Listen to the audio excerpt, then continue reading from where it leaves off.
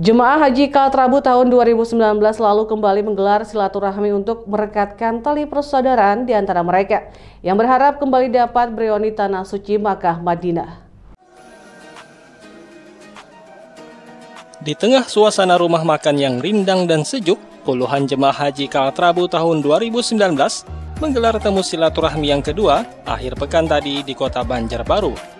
Pertemuan ini sengaja dilaksanakan setiap tahun untuk meningkatkan rasa kekeluargaan dan persaudaraan selepas mereka pulang melaksanakan ibadah haji di Tanah Suci Makkah Al-Mukarramah dan Madinah Al-Munawwarah. Ketua Panitia Pelaksana, Haji Sasmi berharap ke depan semakin banyak jemaah haji Kaltrabu 2019 yang menghadiri temu silaturahmi ini, mengingat jemaah tersebar di berbagai kabupaten kota hingga provinsi lainnya di Indonesia mudah-mudahan ini terus ber, berlanjut dan kawan-kawan yang yang belum berkesempatan hadir pada acara silaturahmi halal bihalal pada hari ini dapat meluangkan waktunya untuk uh, kegiatan halal bihalal silaturahmi yang akan kita laksanakan pada tahun-tahun uh, berikutnya. Rata-rata dari daerah mana aja Pak? Uh, alumni ini kebanyakannya dari Banjarmasin, tapi saya sendiri dari Kandangan. Nah, ada dari uh, dari Jawa juga ada, ada beberapa orang. Contohnya Pak Yulidar Darwis itu uh, apa uh, alumni kami. Temu silaturahmi membuat jemaah haji Kaltrabu tahun 2019 semakin rindu untuk kembali dipanggil ke Tanah Haram, baik melaksanakan ibadah haji maupun umroh secara bersama-sama ke depannya. Seiring dibuka kembali keran ibadah haji oleh Kerajaan Arab Saudi, apalagi saat keberangkatan hingga kepulangan ke tanah air, mendapat pelayanan yang sangat memuaskan dari pihak travel.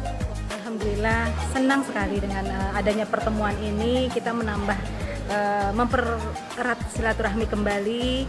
Uh, rasa terkenang dengan masa-masa uh, kita di uh, Masjidil Haram. Alhamdulillah pada saat uh, kita haji 2019 itu uh, suasana sangat uh, menyenangkan ya. Apalagi dengan travel Kal, uh, Kaltrabu alhamdulillah luar biasa. uh, luar biasa sekali pelayanannya jadi kita semua merasa sangat puas harapan ke depan kami kami semua ingin uh, tetap ingin selalu menjalin silaturahmi kemudian ingin berangkat bersama melaksanakan umroh ataupun haji kembali. Ih, sangat rindu sekali. Iya, apalagi sekarang uh, haji sudah diperbolehkan, uh, semakin mengingat kembali uh, suasana di sana, membuat kita sangat rindu sekali. Dari awal manasik, terus ke berangkatan dari Banjarmasin transit ke Jakarta, sesampai di kota Madinah, hotel dekat dengan Masjid Nabawi. Terus ke Mekah, hotel juga dekat dengan Masjidil Haram. Pelaksanaannya alhamdulillah baik sekali.